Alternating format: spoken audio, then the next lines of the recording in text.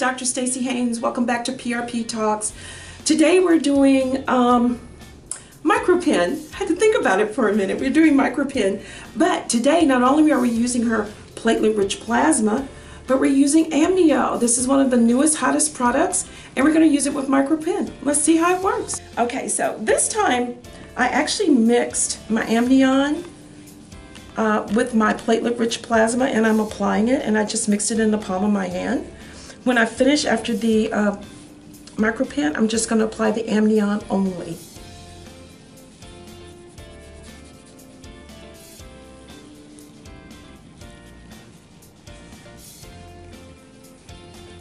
And you can see it glides in. Okay. Here goes the micropen part.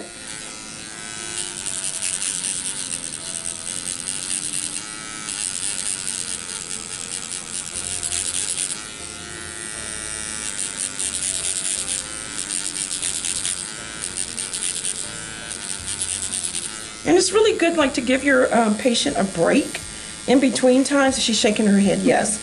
Because if not, it gets really intense. And then when you start back over again, you can go for a little bit, just not long. And then I guess the biggest thing is just to make sure you find out where your staff put the numbing cream. The forehead is the worst area for the micropen. It always seems to be more tender than any other area. The rest of the scalp, most patients don't have any issues. The face, no issues. It's just always right up in here. But guess what? We're finished with that part. Here's our amnio, and we're actually going to apply it and then massage it in. This one I'll put no platelet-rich plasma for my patient. I'm just going to use straight amnio. And here we go.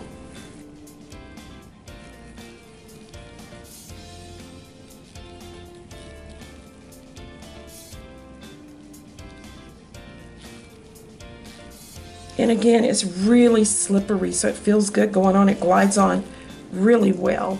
It's still a liquid, but it has a little viscosity to it, so it's not like watery. Well, it's still watery, but it's still a little viscous too, just minimally.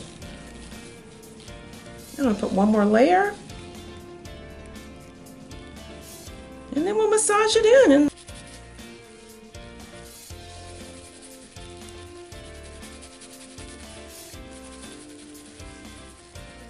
And you can still see it's really, really slippery. So it makes it really nice to, to massage in.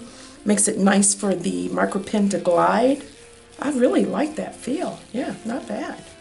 Okay. So there we're finished. Eight to 10 weeks, we'll bring her back. We'll take a look. We'll see how she's doing. And we'll see what else she'll need. Maybe all she'll need is just a little micropen without the amnio. We don't know yet. So we'll let you know.